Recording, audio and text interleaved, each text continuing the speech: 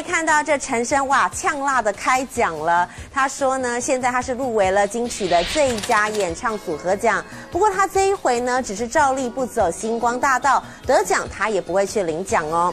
因为他在二月份接受杂志专访的时候就说，那些金什么奖的都是狗的排泄物，所以一个晚上没有得奖，还要假装在那边恭喜恭喜，他觉得实在是太假了。而且他说叫我去那边坐两个钟头，我真的办不到。